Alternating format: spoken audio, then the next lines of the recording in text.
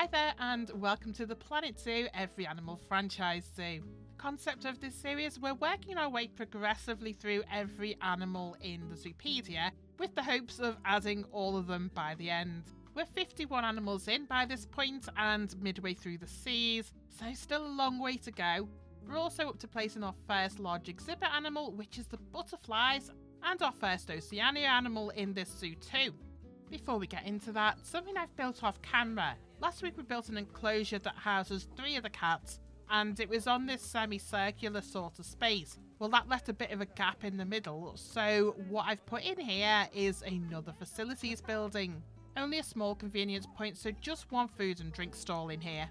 Around the back, I've set up some picnic tables. There is a path under here, and then I've used grass roof tiles to cover that up. So it is at least functional, this space. A nice pit stop between the sea lions and the cats.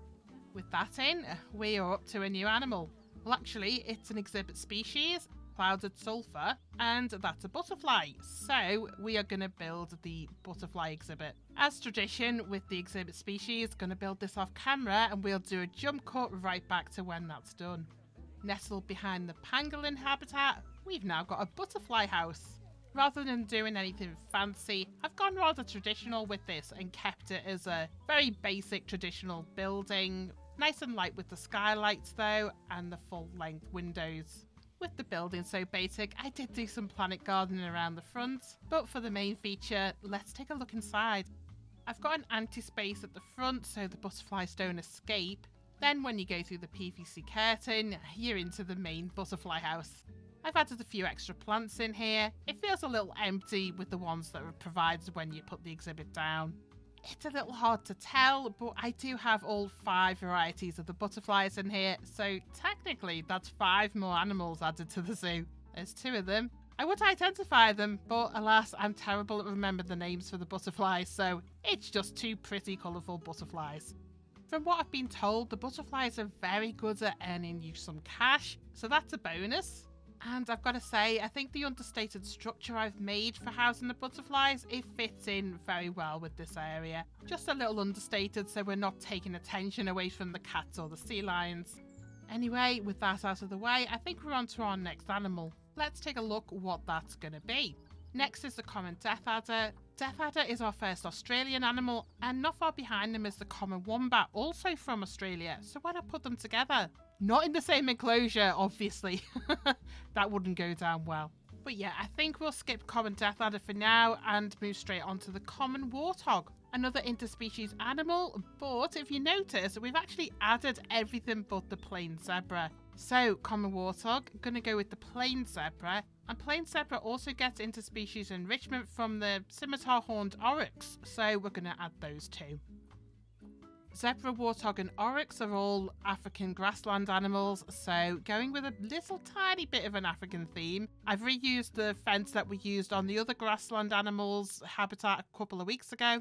The guest barrier fence. This is a new one I've made comprising wooden poles and the plaster rock piece that came with the Africa pack.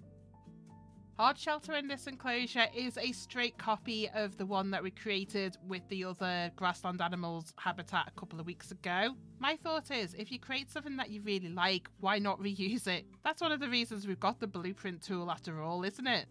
Terrain wise, these animals wanted a lot of grass, both short and long variety. So, just covering up some of the soil that I'd initially put in. I like to add soil, but hey, the animals don't like it, we take it out.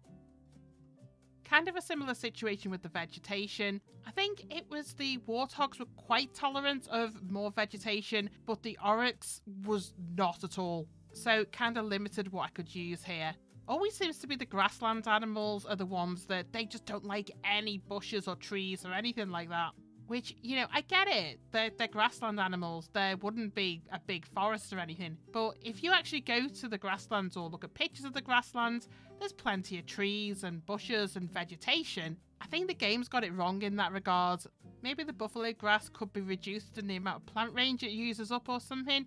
I know they took the rocks out of that years ago because rocks used to count as vegetation as well. I think it would just go some ways to letting us get a bit more imaginative with the grassland animals' habitats. Anyway, here's the completed enclosure. That's another three animals into the zoo. We've got zebra, oryx and common warthog. Oryx is a shy animal, so I am a little worried they're going to get too stressed if we have too many visitors. But because I've reduced the visitor numbers down, not many venture up to this side of the zoo, so we might be okay. Zebras are neutral, so they should be alright. The other animal in here, the common warthog, they're confident with humans, so definitely shouldn't be any issues with those guys at all. Something I did do to mitigate it a little bit, I've put all the enrichment items, none of them are by the fence, so I've noticed animals tend to traverse between the enrichment items and that's about it, so they'll probably be keeping well away from the guest fencing anyway. That's about it for this enclosure, so let's move on. Next is common wombat. So, what are our options? They can either go in right next to this habitat we've just created. It's a smallish space, but maybe bigger than what the wombats need. We could put them over the road here. That might suit better and then save this space next to the other habitat for something a little bigger. So wombat habitat, I'm making this into a cage structure, similar to how I made the lemur habitat. Because it's an atypical space, not on a grid and not square, it can take a little while to get it all to slot into the space, but I think making some of these habitats into a cage structure, it adds a bit of variety to the zoo rather than it all being just open plan with a barrier around the side. I remember when they added the Europe pack, I think that was the first time they added the panels in. So, normal building walls you could use as a panel that isn't on a grid, and it really changed the game in making these sort of structures. It's so much easier now and you can get a lot more creative with it. Safe to say, this is mostly panel and uh, metal beam construction for this one here. The roof was the only part that I wasn't entirely happy with because I made it a flat roof and normally I have a bit of a pitch on it. But we've been doing so many pitch roofs lately, I thought I'd give it a go doing a flat one. Hey ho, it didn't turn out quite like I wanted it with that, so I might go back and change it. Problem with that is the more I build up the zoo, I've got a list almost as long as my arm now things that I want to change.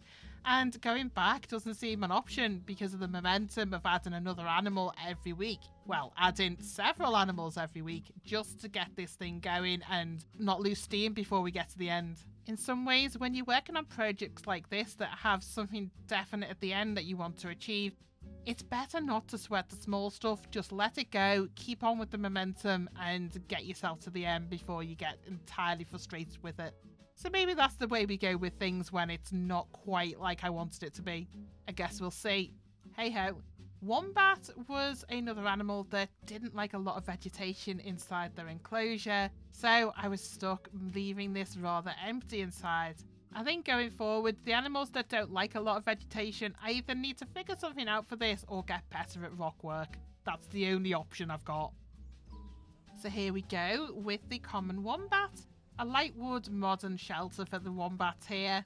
And big open windows on all sides, apart from the back obviously, which is bringing a lot of light into the enclosure itself, so it doesn't feel too dark and dingy in here. Ooh, a couple of guests here already.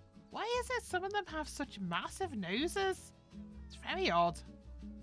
Anyway, wombats seem very happy with their space. Cute little animals that they are.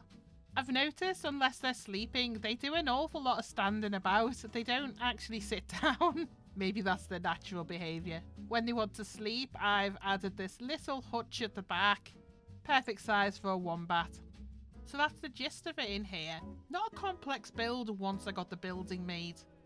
I'd say it's time to move on to our next animal. Now the wombats in, I haven't forgotten about the common death adder. They will be going next door with another facilities building. But before we get to that, I think we should head on to the cougar. Cougar, one of my favourite cats in the game, I've got to say. The question is, where are we going to fit them in? I feel like we need to put the cougars back with the other cats doesn't seem fair that all the cats from last episode get to hang out and the cougars over the other side of the zoo or something. So, how about we put them in this space behind the cat enclosure? That might work. So, cougars, like most cats in Planet Zoo, there's only two of them in an enclosure. If there's any more than that, they start fighting. That being said, they need a lot of space. North American animal here, and I know cougars can live in mountainous ranges. So, what I'm doing with the landscape here is making it quite a mountainous terrain. Something to bear in mind with cougars is they're very sneaky animals and they love escaping over high walls. So, you have to be super careful with the walls, make sure it's high enough. For theming with this habitat, I've gone with a mountainy forest look. So a lot of natural wood, making use of a log barrier here between the guests and the mesh panel fencing, which is meant to keep the cougars in. For rock work, because this is meant to be mountainous, there's a lot of rock work in this habitat. The key thing with this, like I've mentioned before, most of the animals cannot traverse the rocks. They just can't climb on it. So you have to remember that when you're putting it in that most likely the animals won't be able to, to walk up and down the rocks. I've planned for that by making the space bigger than it probably needed to be. The cougars need about 900 to 1000 meters squared. This is a little more than that, but I was aware of the fact that because I'm putting a lot of rocks in, they won't be able to traverse those rocks and that will take away from that space that's allocated. Another way to get around this, I've added climbable platforms that traverse down the rocks so at least the cougars have got something they can walk on to get from the top of the enclosure to the bottom. Obviously, you want them by the bottom because that's closer to the guests, so the guests are going to get a better view. For trees and such like, I really went to town with the trees on this one. I don't think you can do a North American habitat like this justice without putting heaps of trees in, so I made it work. A nice change from all the grassland, empty habitats I've been working on recently. Nice playing Planet Landscape Architect for a while. So here's the completed cougar habitat. Certainly rougher terrain than we've been used to with some of the recent builds. A nice change, I'd say. Be nice getting back to a forest biome. There's one of our cougars right now.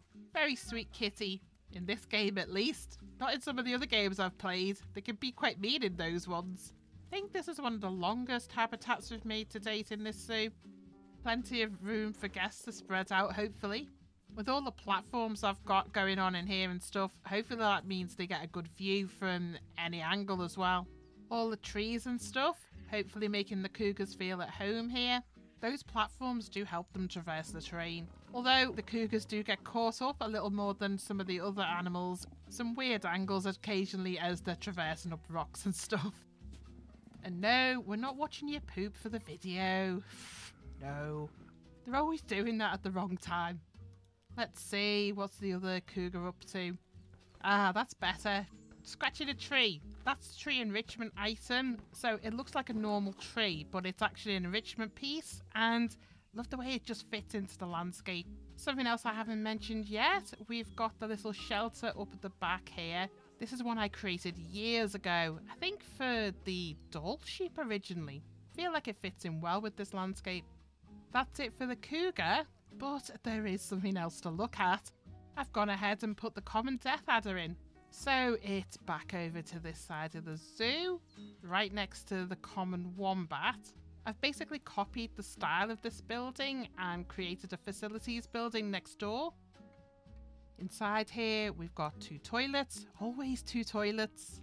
Also some vending machines and ATMs. And then over the other side is the new exhibit. So, common death adder. Much easier to see this one. Not a lot of undergrowth like we usually get. Oop, too far. Let's zoom back out there. So there we go, second snake in the zoo. You'll notice in here I've left space for two more exhibit animals. That's because we've got two more Australian animals coming up soon.